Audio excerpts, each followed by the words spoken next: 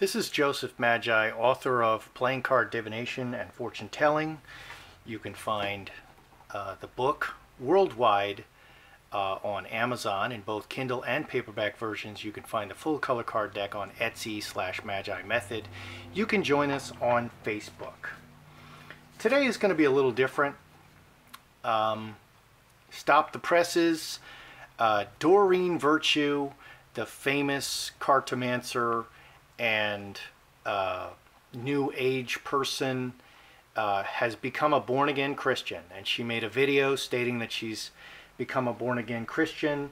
And uh, one of the things that she said, uh, she has an Ascended Masters deck, uh, which features uh, Ascended Masters such as Solomon, Jesus, Lug, Krishna, all kinds of crazy ones. Saint, well, that see that sounds pejorative.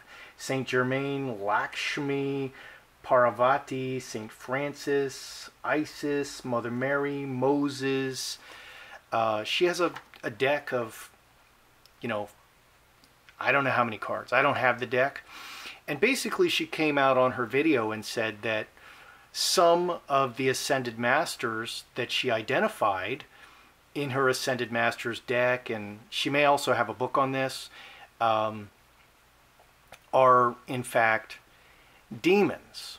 Okay, they're not Ascended Masters. Some of them are in fact descended masters or demons. Um, the the New Age community is up in arms, uh, and there's some very uh, hyperbolic vitriol uh, running around, going around the web.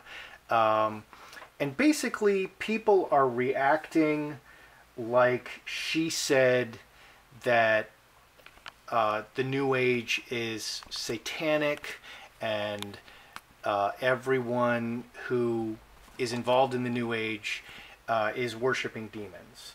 Um, I, I kind of want everybody to calm down um, and I kind of want to, I basically, I want to explain to you how things work. Uh, I wrote a book about this. Okay, please, playing card divination and fortune telling, um, the Magi method. These three guys are the Magi, um, and it's not all or nothing. And I want to kind of explain to you uh, the Christian worldview uh, and and how it dovetails in with uh, the New Age, etc., and what's really going on. Um, people are reacting like uh, her becoming like Doreen Virtue, this very famous person becoming a born again Christian, is her. It's it, like it's all or nothing. Like now she's saying that everyone in the New Age is worshiping demons. Okay, um, I, I don't think that's what she's saying. I think, and I tried to find the original video, uh, and I can't find it. I think it's been removed. Uh, there was such a hullabaloo about it that it's it's been removed. So I kind of want to explain. This is a book. Uh, I wrote this book for this reason. Okay, this is the Magi method. Who are the Magi? Well, at the birth of Jesus Christ, three magi, one, two, three, were present at the birth of Jesus. Okay? Everybody knows who Jesus is. Easter is tomorrow. Okay, Friday is Good Friday. He was on the cross dying for everybody's sins on Friday. Sunday, he rises from the dead. It's called Easter. Okay, so three magi were present at uh, the birth of Jesus. Who were these three magi? They were astrologers from a foreign land. They traveled a long way. They saw a star in the sky and they followed it to find the Christ child. Christ means Messiah, the Savior. Christ means Messiah, Messiah means Savior. Um, so I, I kind of want to get into how basically I am a Christian magi. That's that's what this book is about. Okay, is it contradictory to be a magi and to be a Christian? No, the only three people present at the birth of Jesus were the three magi. There were no, besides Mary and Joseph, there were no other Jews present. Uh, Jesus was Jewish. Uh, and there were no other, there were no rabbis, there were no Levites, there were no high priests. This is the Son of God. God could have appointed anyone to be there, but only three magi and some livestock and some illiterate shepherds were present. No other Jews were present. This is very significant. The purpose of magi uh, in the Old Testament, they surrounded the kings because kings were from God. And I, I cover this in the book. This is the first couple chapters uh, of the book. Um, and so uh, some of the greatest magi are in the Bible. Uh, Solomon was a great magi. He is the father of, of basically Kabbalah and high magic. What's Kabbalah? Kabbalah states that the Bible is, you know, the Bible is essentially the greatest magic book ever written. And frankly, if you know anything about magic, it is, the Bible is the greatest magic book ever written. And the Wiccans know this. Um, so I kind of want to explain what's going on uh, and how Christians view the world and why this is not a contradiction, uh, why being uh, an astrologer or a cartomancer is not a contradiction of Christianity in any way. Uh, and uh, it's not all or nothing. It's not one or the other. Uh, and some some angels are demons. Okay, and other angels they're all angels. I want to explain to you how stuff works. Okay, I from the Christian point of view. You don't have to agree with me, but I want to explain stuff from the Christian point of view. Okay, and I'm going to use the cards. Okay, so in the beginning, um, God created, and I'm going to use the sun to represent God. God, represented here by the sun, created heaven and earth.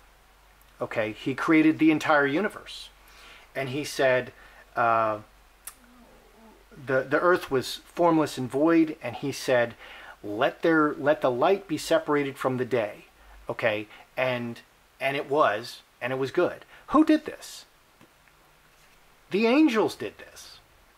Okay, the angels are the messengers of God. They're the warriors of God. They do the work of God. God says, let it be so, and he sends the angels to do it. Okay, and right now, we live in a spiritual world. Right now, everything is upheld by God's righteous right hand. This is in the Bible. Everything, every instant, every moment, everything is held together actively by God. How's he doing this?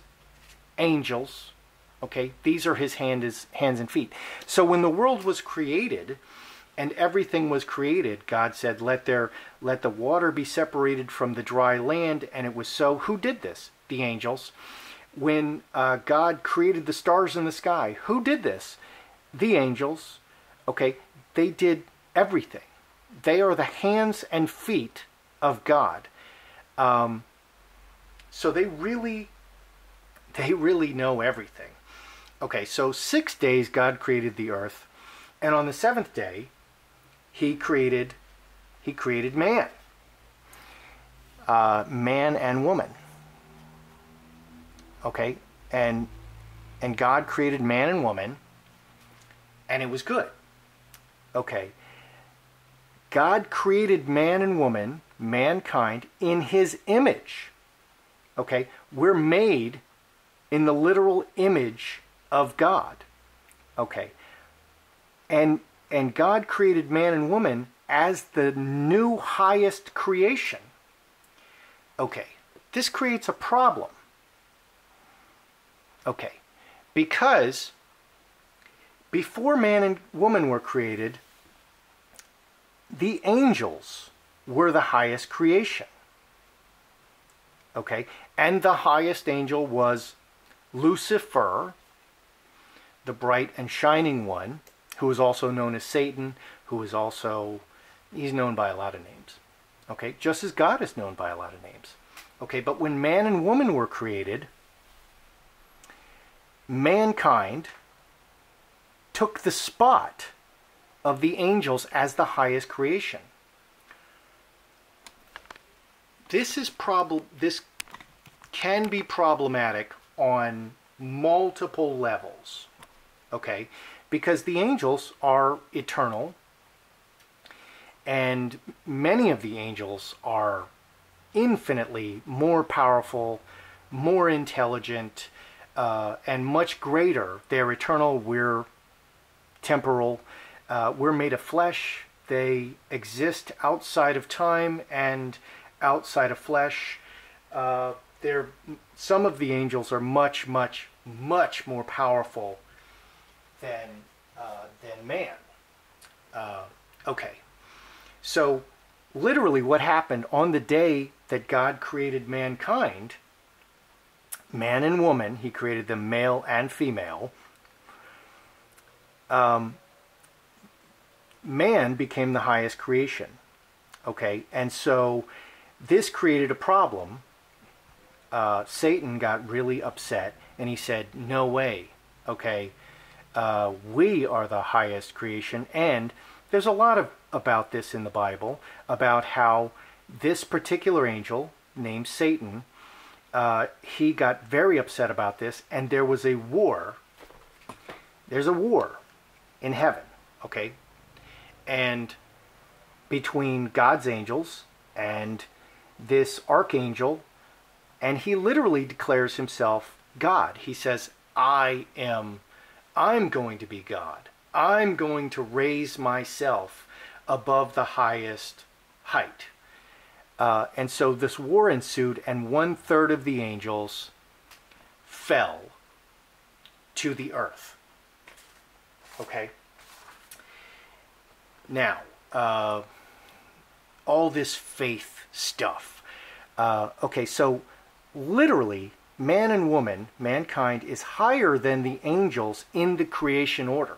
We're made after the angels, and we're made higher. We are technically higher than the angels. Okay? But this is by faith, because in fact, Satan is the God, small g, of this world. He is much greater than man. Uh, and when we encounter powerful spirits on this plane, they're like gods to us. Okay, so the, the demonic spirits, the fallen angels, are like gods compared to man. They're much smarter, they're eternal, they've been alive forever, they know how everything works. And when, when man was knit together uh, from the dirt, guess who did it?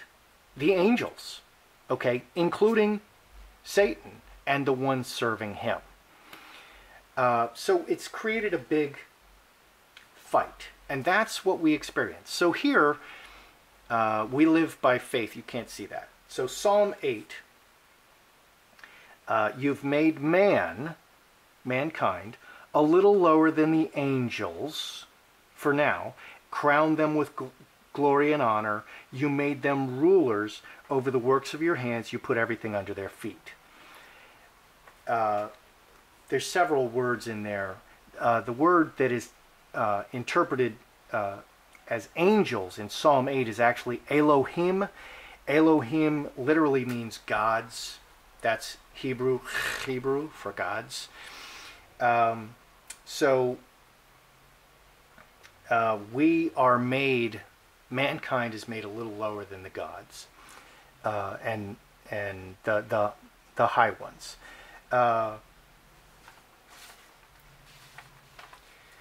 Okay, so I want to explain to you what's happening in terms of energy. So mankind is higher than the angels. Uh, positionally, we're higher than the angels. But in fact, on this earth, the angels are more powerful than us. What is the interest of angels, exalted and fallen, in mankind? Uh, before the fall of man, uh, and I just want to explain this. Okay, so before Christ, okay, represented by the cross, and the cross reconciles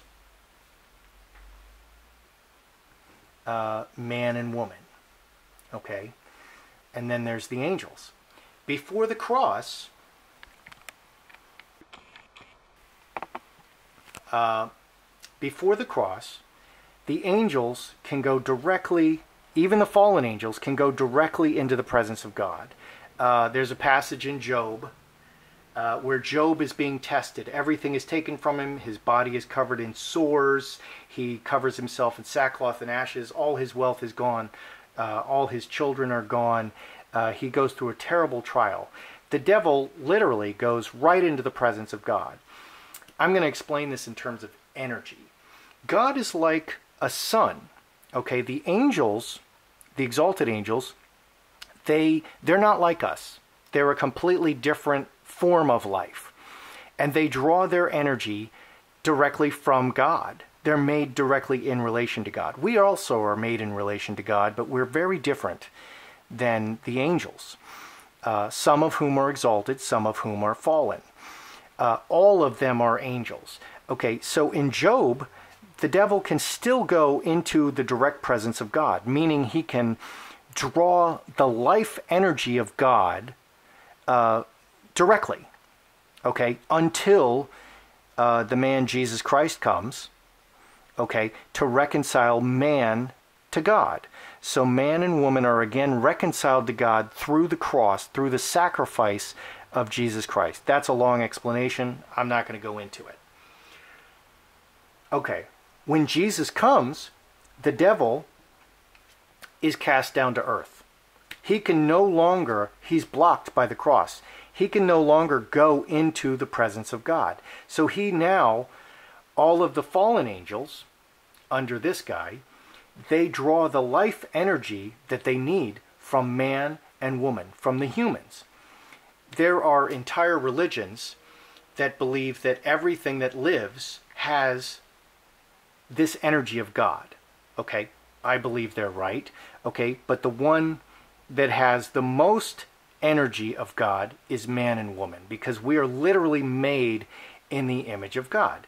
So, what Doreen Virtue said is she said she's become a Christian, okay, and some of these previously identified exalted masters, what are they called? Uh, she called them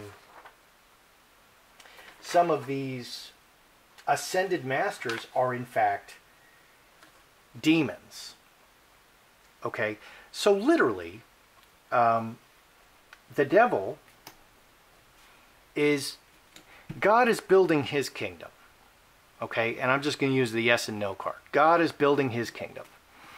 Okay, and his kingdom they they are saved through the cross, through the sacrifice, through a direct relationship with God. Okay? And by faith, we understand that in fact, we are higher than the angels and that we can have a direct relationship with God. Um, and the devil, he deceives his people, he deceives men and women into believing that they're less than him. Um, and he's building his kingdom. Why? Because he needs to draw the energy of God and we have it. And that's his interest in man and woman. Uh, that's his interest in humankind. And that's what hell is. Now, right now, the devil is separated. He's cast down to earth. Since the cross, he can't go into the presence of God and draw the energy of God. He has to draw it from the man and the woman. So some, they're all angels. Okay, some are ascended, some are uh, uh, descended. Some are exalted, some are fallen. Uh, but the fallen angels draw their energy from man and woman. Okay, so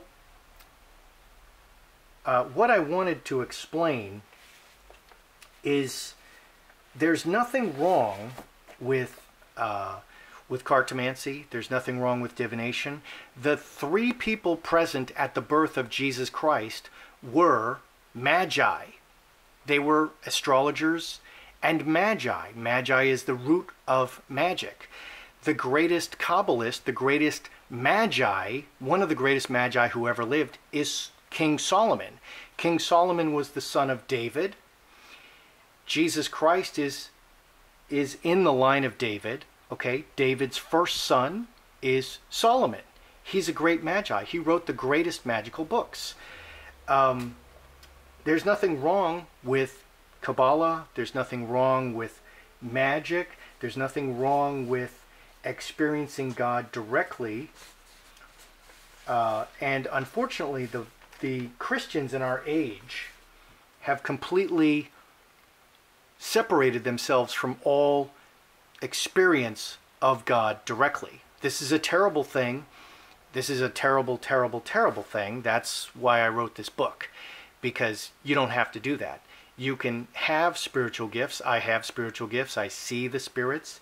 Uh, for instance, I see everything that woman uh, from the Dead Files I see everything she sees. Okay, everything she's ever seen, I see those things too. Uh, okay, the the Long Island medium, the Hollywood medium, I've never seen anything they see because I I don't see any of that stuff. I think they're fakes. Um,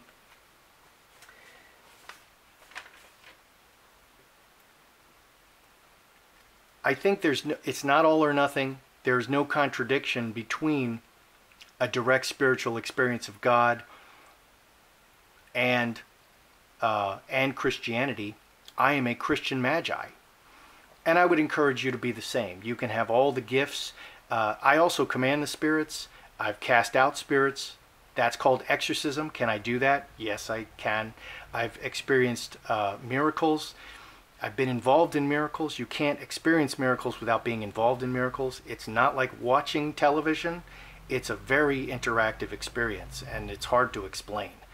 Um, I, have been involved in several miracles. Uh, unfortunately, I don't know any Christians who can see in the spirit like I can.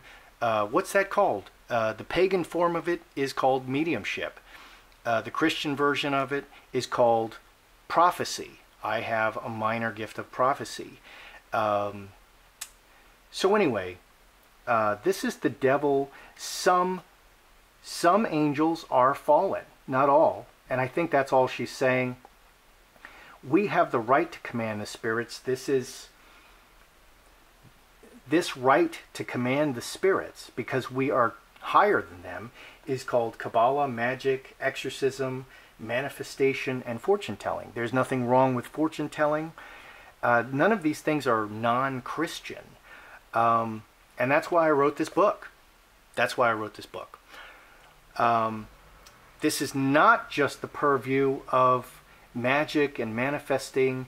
Uh, the greatest magician, the greatest magi ever, are all Christians. Moses, the greatest magical battle ever recorded, is Moses. He's one of the greatest magi ever. There's none greater. Okay, there's Elijah, there's Elisha, there's Daniel, there's Joseph. Daniel was a magi. He's one of the greatest people who ever lived, one of the most powerful people of his age. He was a magi. And all he did was read fortunes for the king. That's that was his role. He was also a governor. Joseph was a magi, the great Joseph. Uh, he was an interpreter of dreams. He became the most powerful man on the planet during his age. He was a magi. These men are indisputably Christians. Solomon, a great, great magi. He's the father of all magic in our age. And if you read his stuff, you'll know. Uh, and nobody has surpassed him. So uh, there are fallen spirits, and they are very interested in humans, and you have to discern the difference. And I think that that is what Doreen Virtue is saying. Uh, hopefully, she's not going to declare everything to be the devil like the foolish Christians do, uh, which is literally why I wrote this book. Um, anyway, I'm, I hope that was clear. I'm Joseph Magi, author of Playing Card Divination and Fortune Telling, The Magi Method. You can find uh, the book worldwide on Amazon in both Kindle and paperback versions. You can find the full color card deck pictured here on Etsy slash Magi Method. Please like and subscribe.